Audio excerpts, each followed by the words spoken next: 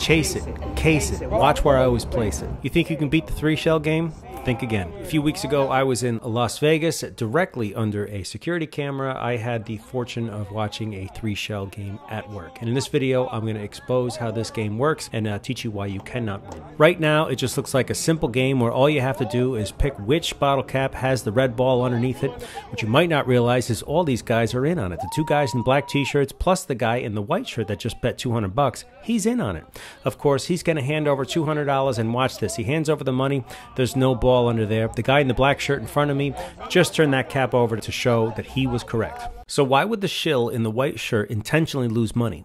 What he's doing is baiting the woman directly to his left. He wants her to think, you know what? I followed the right cap. If I had bet money, I would have won. And guess what? The tactic was 100% successful. On the very next game, in just a matter of seconds, this woman lost 200 bucks.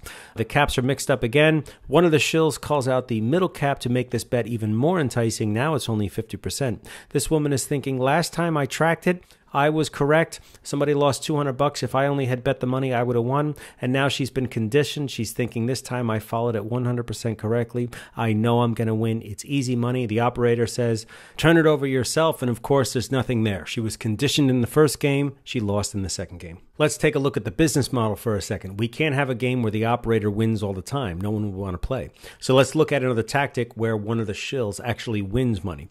Right now, the operator is mixing up the caps and watch the guy right in front of me in the black t shirt. He says, I'll put money on this cap. He turns it over and look at this easy money. This guy wins $600 without blinking an eye. Now, people watching the game are saying, well, you know what? That guy just won 600 bucks. I could do that too. It's just another psychological tactic to get people that normally wouldn't gamble to open up their wallets and basically give their money away. Let's take a look at one more tactic to protect the operator from losing money. Here we can see the same thing we saw earlier. A shill bets money on the center cap, losing the money, making the bet more enticing. It's only 50% right now.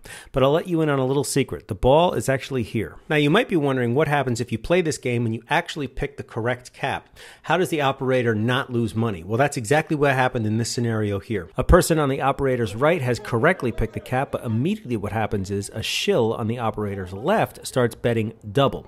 So this person over here is betting $50. He's got it correct, but the shill keeps betting $100. However, those are the rules of the game. The operator has to take the highest bet. So no matter how much the player keeps raising, and he did, the shill keeps raising the money even more, even more. Until finally the operator says, I have to take the higher bet. I'm sorry. The original player's bet is nullified. The shill's bet is taken. And guess what? The shill loses, but remember, it's just house money. The bottom line is you can't win this game. You can't win three card Monte. You can't win the shell game.